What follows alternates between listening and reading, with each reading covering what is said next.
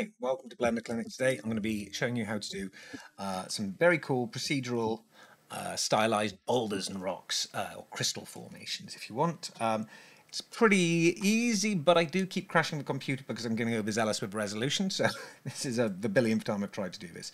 Uh, Icosphere, add it up, give it some res, and, you know, uh, give it subdivision surface, and I think it's the subdivision surface in this that is actually causing me all the issues. Uh, but I'm gonna I'm gonna leave it there.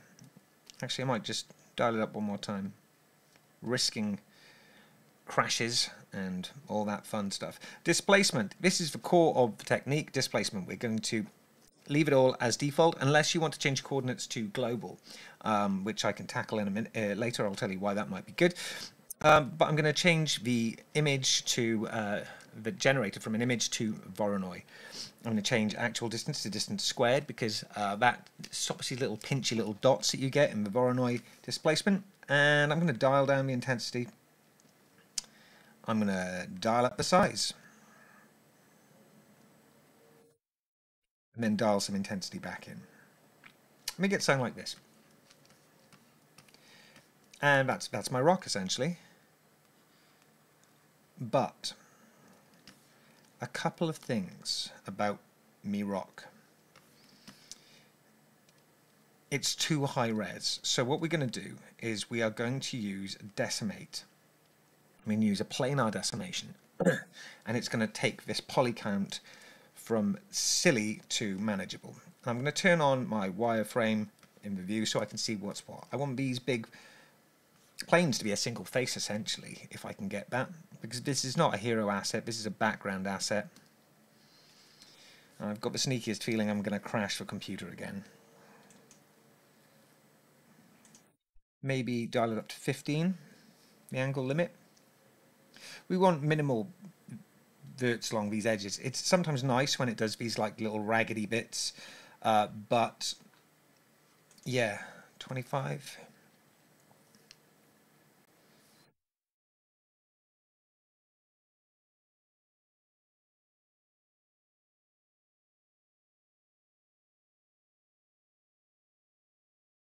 So there we go. So we've got a very low face count and quite a high poly count. Uh, it's quite a high vert count considering the amount of faces, but it, uh, it, it works. You've got this jaggediness that is quite interesting. And the further we go up, the more we lose of the interesting sort of stuff and the more broken bits we're going to get. So I'm going to take that back down to 20. Oh, and I should tick on all boundaries as well. That'll definitely help.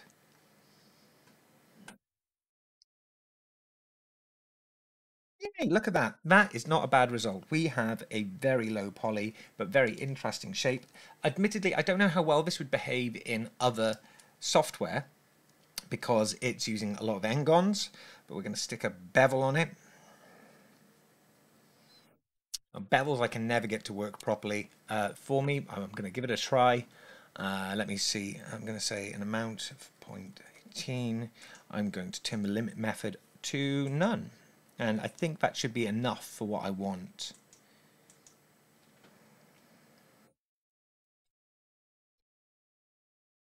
Do as I say.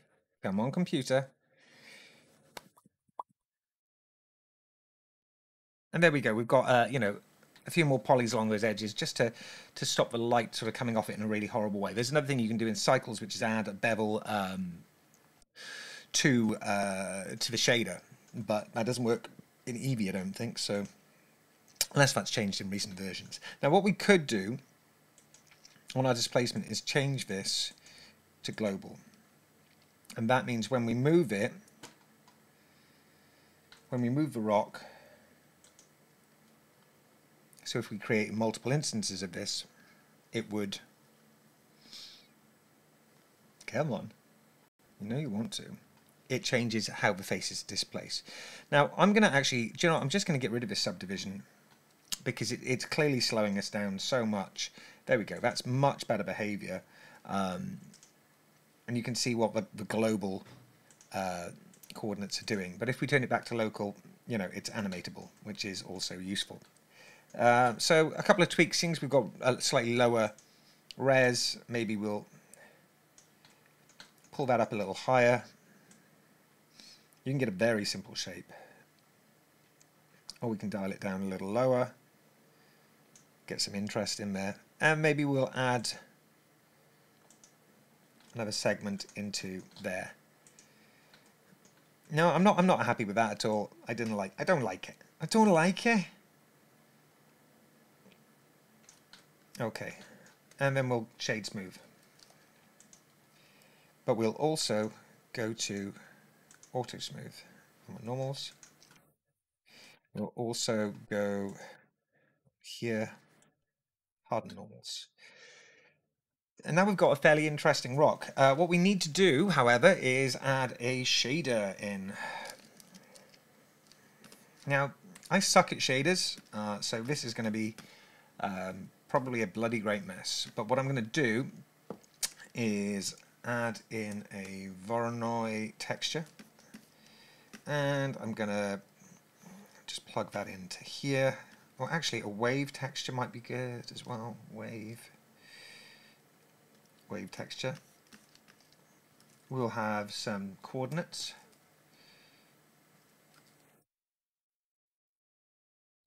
Generated coordinates for both y'all. Actually, no, not for this one. For this one, I'm going to have geometry. And I'm going to take the normal and plug that into this. And now we get different colors based on the normal position. And what we'll do is make a ramp pop it in. And we'll populate this with like the colors that we want the different faces of our boulder to be.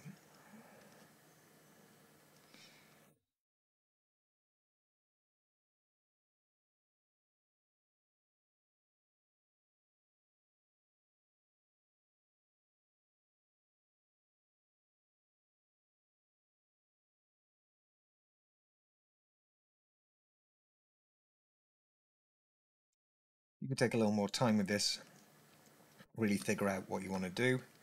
Um, ooh.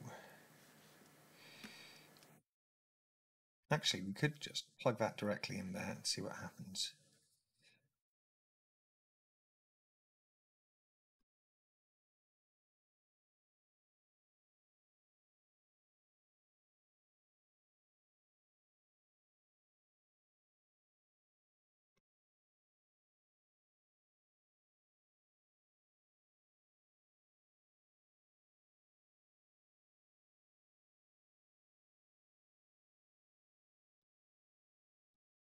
Quite an interesting effect.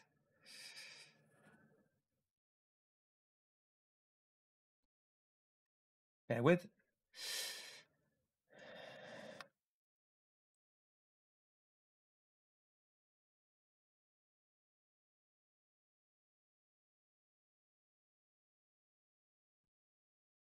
Yeah, just to try that a second. That works. Yeah, just we don't need the Voronoi in there confusing things further. We could turn this to constant.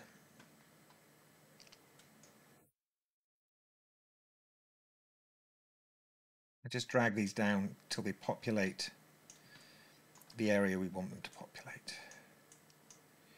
What about true normal? Maybe not.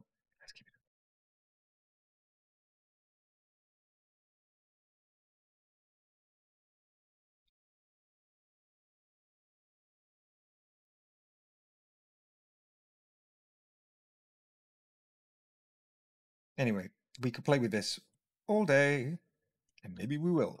But uh, you know, I'm just doing this to get some variance in the in the tones of the rock, so it, it's a bit more interesting.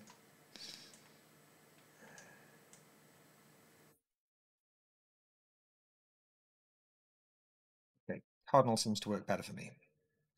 That's good. Maybe these higher contrast colors are less of a good idea.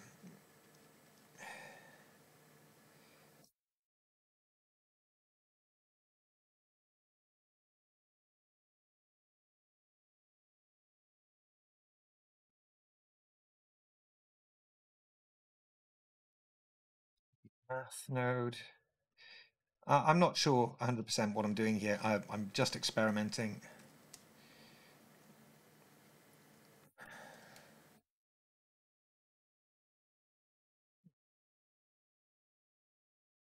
I thought there was a random node, but apparently not.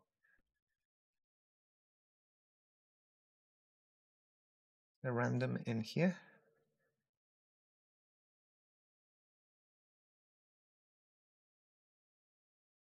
Never mind, let's abandon that, uh, that particular experiment. I suppose actually we could just, um, just to get some of these away from the that side of the, the ramp, we can multiply it a little bit.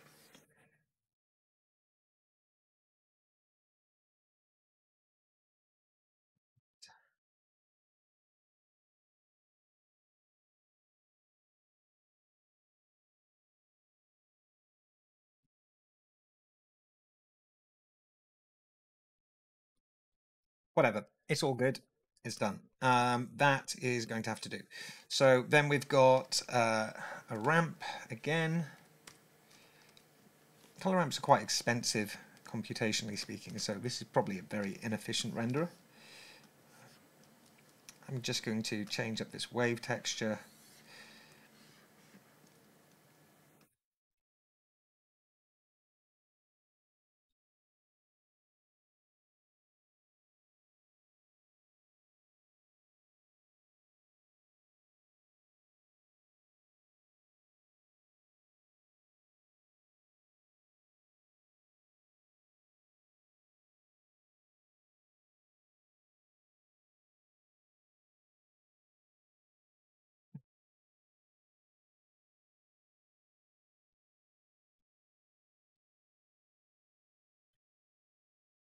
That's interesting. Do you know, I've never considered what is the difference when you go from this normal to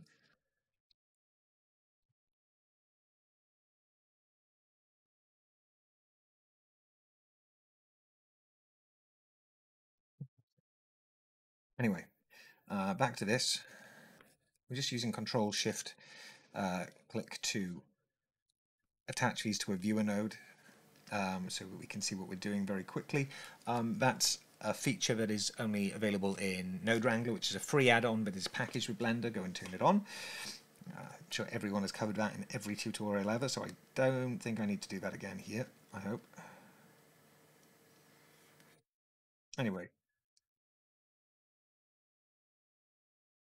I'm just going to use this a bit like that to create a gradient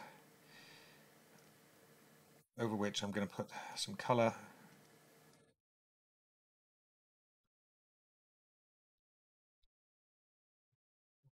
Mix. To mix this and that and then put it into here.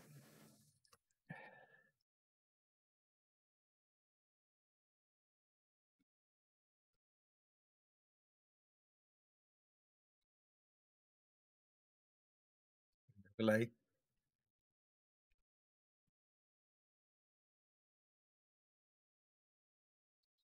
Round.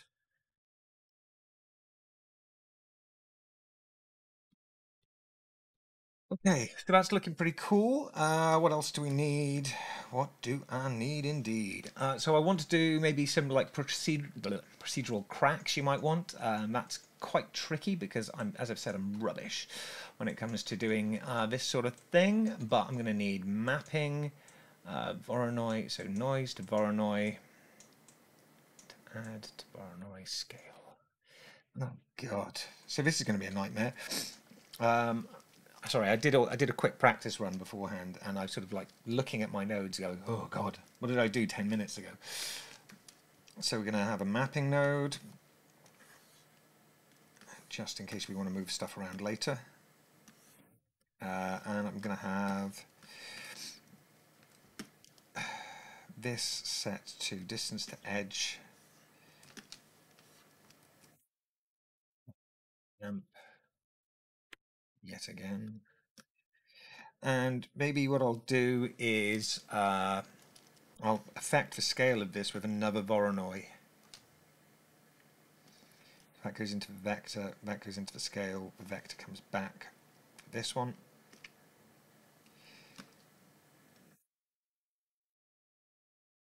And I think I want.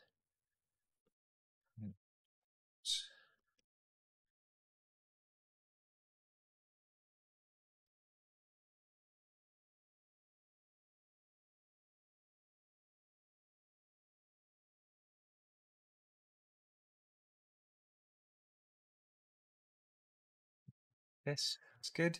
Uh, maybe what I'll do is I'll add a math node here so I can control the ceiling of that scale. That's good. Actually, that's looking quite interesting.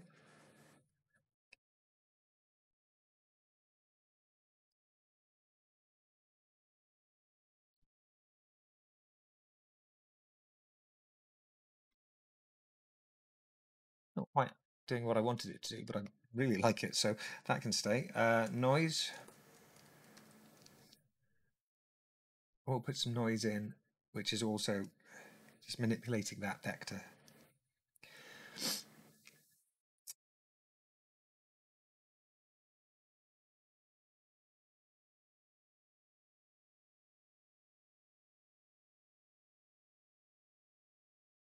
This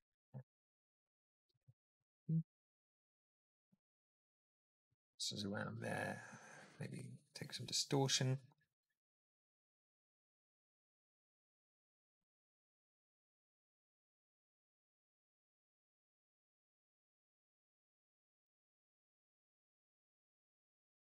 There we go. And that is beginning to look a bit like a crack.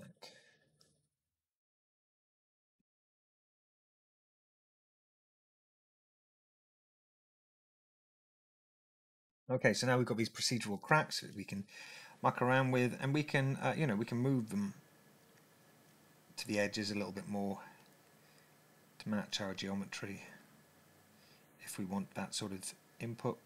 Obviously, they uh, shift and bend out your way in a way that is, makes it very difficult to actually control. But, you know, such is life. Then I'm going to take another mix node pop this on here. I'm going to multiply this. If I can find multiply. My squinty, beady little eyes. Um, and there we go. Yeah, so that's that's good. That's going in. We should see that in a second. That's coming up. Slow to update this fella. Uh,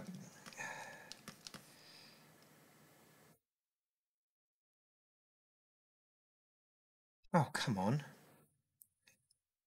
So many texture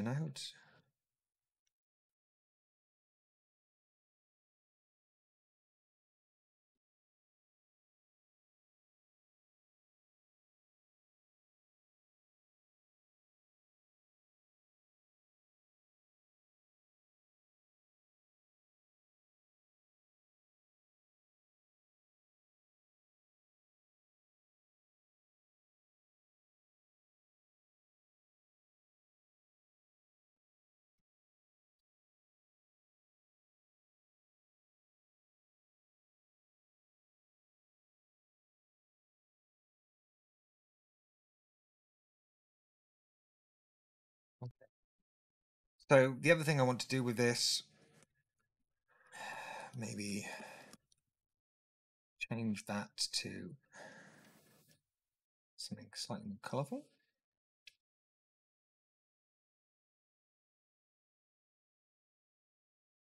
And then I'm going to duplicate this color ramp, plug this into here, make a broader sort of thing, but I can then take this and I can plug this into the roughness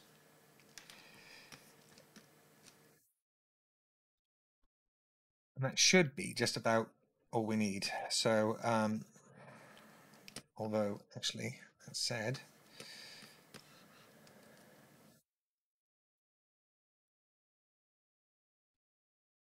yeah, that's way too shiny. So we're going to take the specular down.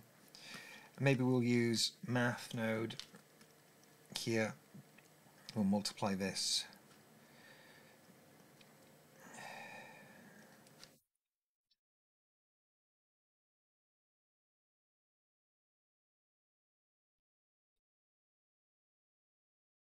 Let's turn that specular up so we can see what we're doing for a second.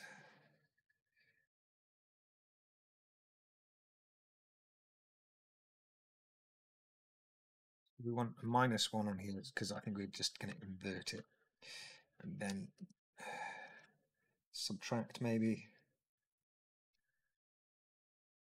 so we can dull it down.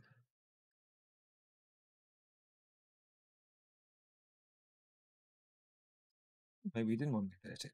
Maybe I'm just dumb. Do, do, do, do, do.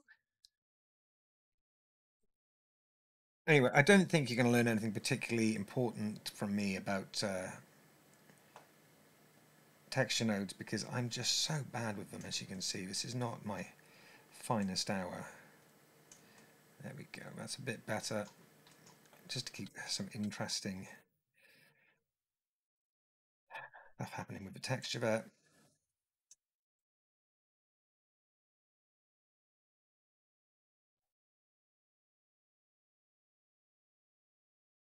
I mean, the other thing we could do is just change the color of these so that they are not fully black or fully white.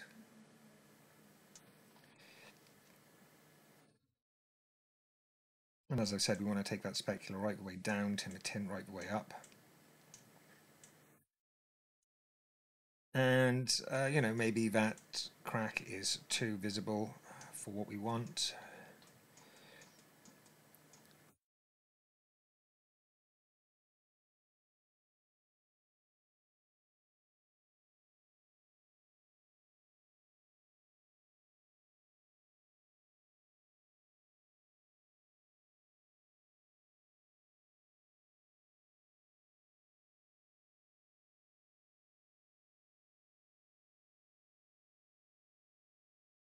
There we go. So we've got this sort of procedural rock going on.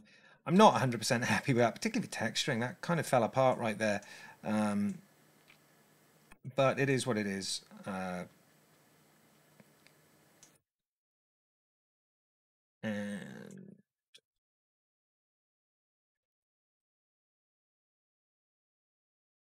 yeah, so that's a, a way to make procedural rocks. And uh, let's put this back onto global and let's uh, duplicate this, and now we've got a load of lovely Rocky Rouge.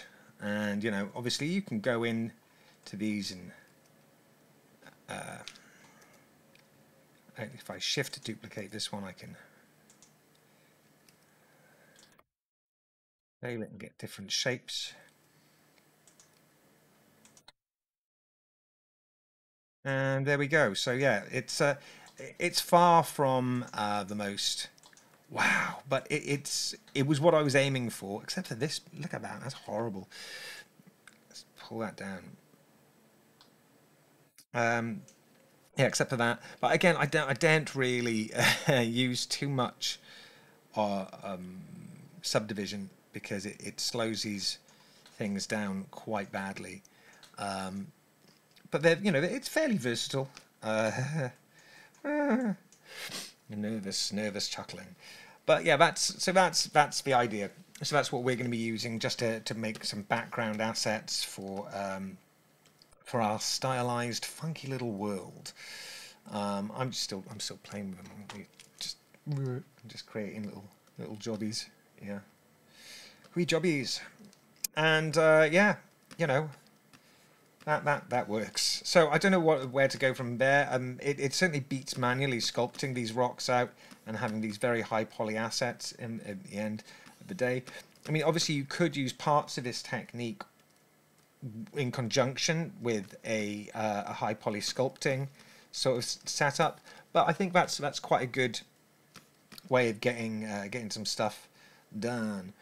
Um, you know, that's that's a little rock formation, that is. Hey! Actually, I wonder, just whilst we're here, actually, I'm gonna, I'm gonna, I might cut here, but uh, so, uh, yeah, but just as another idea, why don't I subdivide this?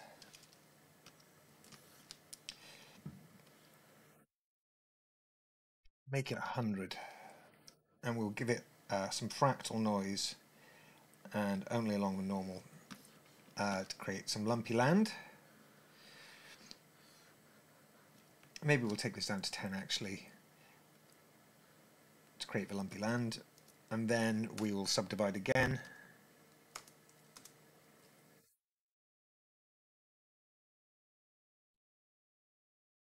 And we won't go fractal so much this time. And then maybe what we could do with this is is, is very much the same sort of thing. We could um, displace it uh, with Voronoi.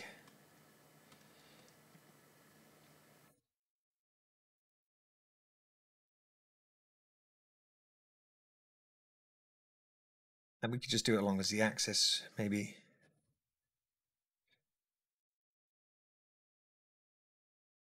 Normals.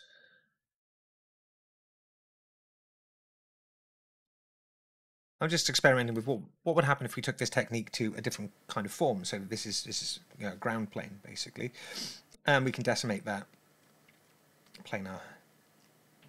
All boundaries, twenty.